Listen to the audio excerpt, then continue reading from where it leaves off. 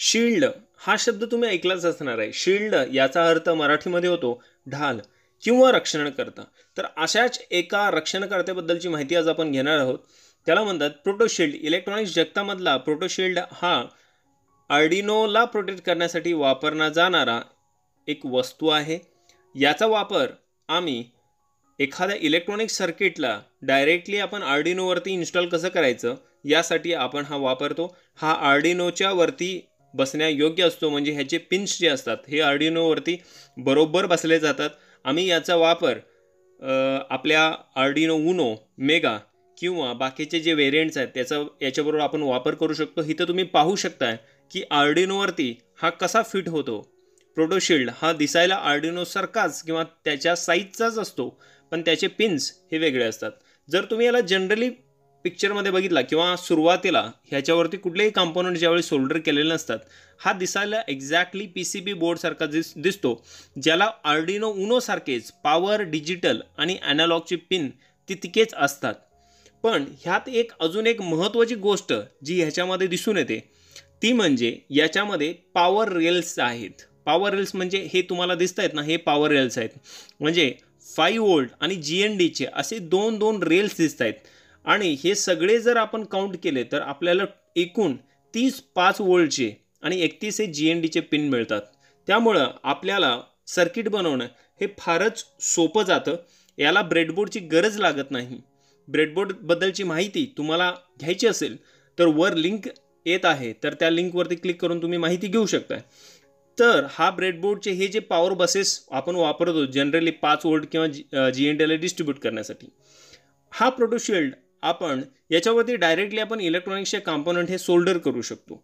Solder करून हा जो प्रोटोशिल्ड आहे हा असाच अलगद आपण कधीही काढून एखादा दुसरा परत नवीन प्रोटोशिल्ड याच्यावरती इन्स्टॉल करून दुसरं सर्किट वापरू शकतो. म्हणजे मायक्रो प्रोसेसर आपण हा चेंज करत राहू शकतो आणि याचा वापर करू शकतो. याचबरोबर याच्यामध्ये आपण जे आय सी असतात I C integrated circuits D I P I Cs असतात.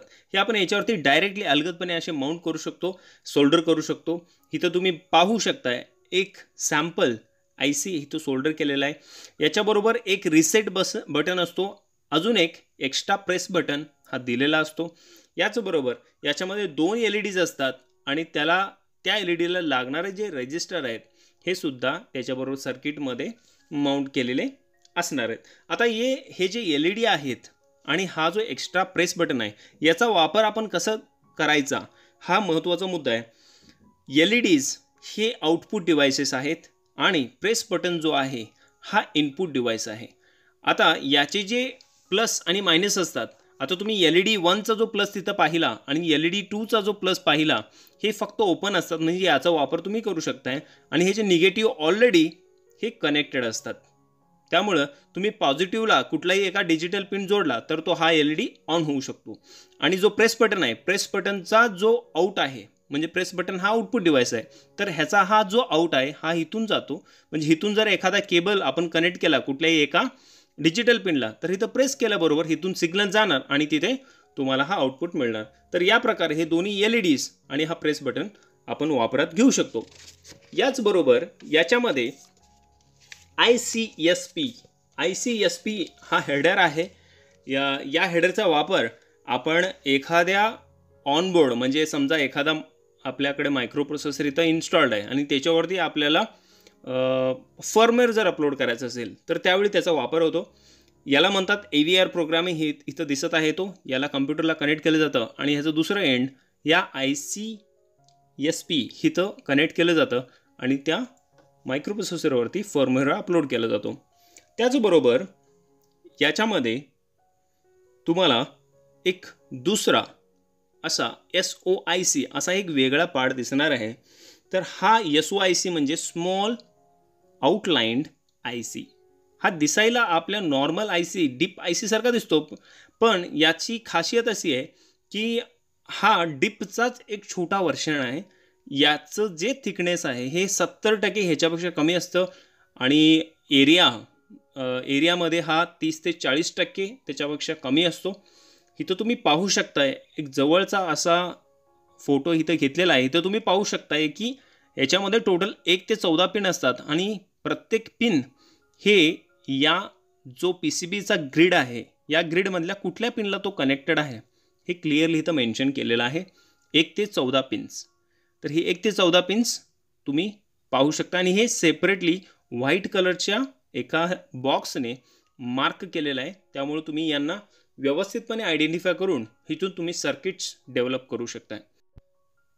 हा प्रोटोशिल्ड छोटे जे ब्रेडबोर्ड असतात याला कम्पॅटेबल आहे. म्हणजे छोटे जे ब्रेडबोर्ड असतात हे याच्यावरती इझिली माउंट करू शकतो आपण. पाठीमागचा जो टू वे टेप आहे तो काढला तर ह्याच्यावरती तो अलगद असा चिकटवला जाऊ शकतो. हाच नव्हे तर आपण मोठा जो फोर हंड्रेड पॉईंटचा ब्रेडबोर्ड आहे त्याच्या त्याचे जर आपण साईडचे पॉवर रेलिंग्स काढले तर हा असा बसतो. तुम्हाला हा असा हा बसू शकताय तुम्ही आपल्या ह्या प्रोटोशिल्डवरती तर तुम्हाला भरपूर परत जास्त पॉईंट्स वापरायला मिळतील. ह्याच्यामध्ये दोन पॉईंट वन मायक्रोफेराईड कॅपॅसिटर्ससाठी स्लॉट दिले गेलेले आहेत. सी वन आणि सी टू अशा ह्या दोन्ही स्लॉटचं तुम्हाला इथे डिटेल मिळेल. काही प्रोटोशिल्डमध्ये इथे कॅपॅसिटर्स हे ऑलरेडी इन्स्टॉल्ड असतात काहीमध्ये नसतात. तर या कॅपॅसिटरचा उपयोग काय? तर आपल्या आपला जो पॉवर आहे कारण हे पॉवर हे फाईव्ह वोल्ट्समध्ये असतं म्हणजे कमी व्होल्टेज असतं तर त्याला स्टॅबिलिटी देण्यासाठी या कॅपॅसिटरचा आपण इथं वापर केला जातो. आणि हे तुम्ही कधीही तुम्ही लावू शकताय. आणि आता मला असं वाटतंय की ही जी दिलेली माहिती आहे प्रोटोशिल्डबद्दलची याचा वापर करून तुम्ही चांगले प्रोजेक्ट्स डेव्हलप करू शकाल. आमचा हा व्हिडिओ पाहिल्याबद्दल तुम्हा सर्वांचं मनापासून आभार. आमचा चॅनल सबस्क्राईब करा आम्हाला सपोर्ट करा. धन्यवाद.